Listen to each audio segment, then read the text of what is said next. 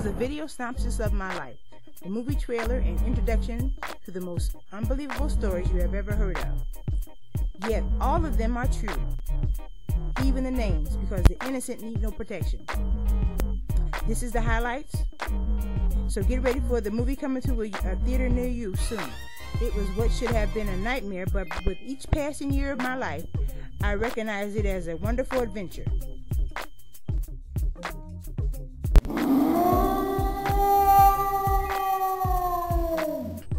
Hi, my name is Pamela Bruner. It used to be Pam White. I was raised in a little town called Inkster, Michigan. But now, here I am in Hollywood. I left to get away from destruction and things that haunted me. This is the legend of Henry Ruff Road. There was a long street that ran through the entire city of Inkster. Was the road named rough because it was? Not only was the road made of gravel and not paved, but many rough things happened. There were stories of parties in the cemetery, ghosts, and many strange things.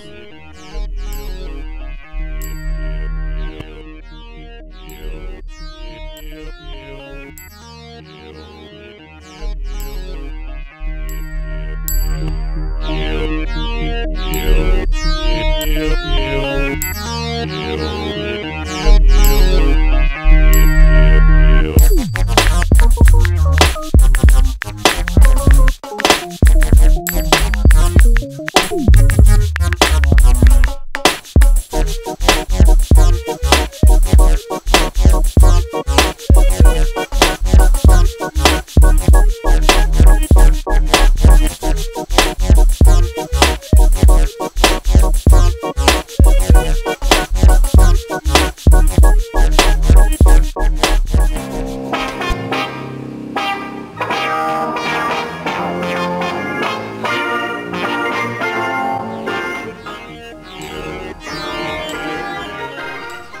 look back over my life, I almost think I dreamed it.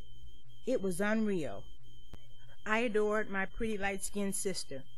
I wanted to be just like her. She seemed to have everything. Beautiful, long hair, good grades, slender build, and with the kind of body that looked good in any style of clothes, and extremely musically talented. She was a model for a major department store chain, and was one of the first black models being prepared to be a supermodel. She was being groomed to be the Black Twiggy. She could outdance anyone and became the first freshman in history to be chosen as a varsity cheerleader in the in the history of the school. And she was my sister. How many times had I bragged about her? I, on the other hand, was just the opposite of her in many ways, yet very similar in heart. As tiny children, we would have identical nightmares at the same time more than once. I remember one time in the middle of the night, we both ran out of the bedroom screaming to the top of our lungs. Spiders, snakes, bugs.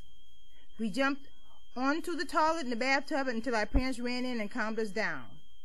We also had identical dreams about a big gorilla trying to get into our house by peering at us through a window. We were tied together by a horror that we did not understand. There will be times of closeness only as we banded together to fight monsters, either real or imaginary.